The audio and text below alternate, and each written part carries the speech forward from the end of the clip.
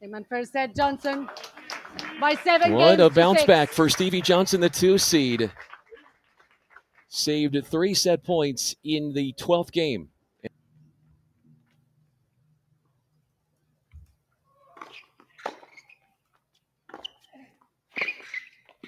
Set at Matt Johnson. At last, at last one American, Seven, six, at least one American, that is, will be in Sunday's final as Stevie Johnson outclasses Tennys Sandgren in straights in today's first semifinal. They are friends off the court, foes on the court, but it was a key break with Sandgren serving at 2 3 in the second set.